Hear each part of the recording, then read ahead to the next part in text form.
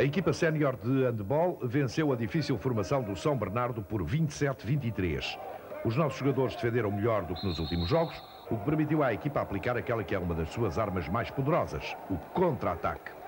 O jogo ficou marcado pela estreia de Luís Garrett com a camisola do Sporting e foi assim comentado pelo treinador leonino Manuel Brito, que não deixou de salientar as dificuldades colocadas pelo São Bernardo. Uh, nós sabíamos que era um jogo com um grau de dificuldade como se fosse com o ABC ou como se fosse com outra equipa qualquer.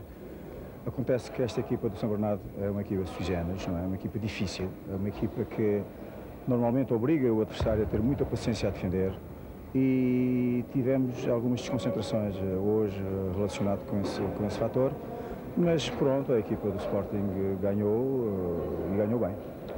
Ganhou bem, é um facto, e, defendeu melhor do que em relação a Bolonenses e aproveitou o contra-ataque. Sim, exatamente. Nós soubemos defender bem na nossa, na nossa zona de 6 metros e soubemos ir bem para o contra-ataque, que temos jogadores exímios nessa, nessa questão e soubemos aproveitar essas situações.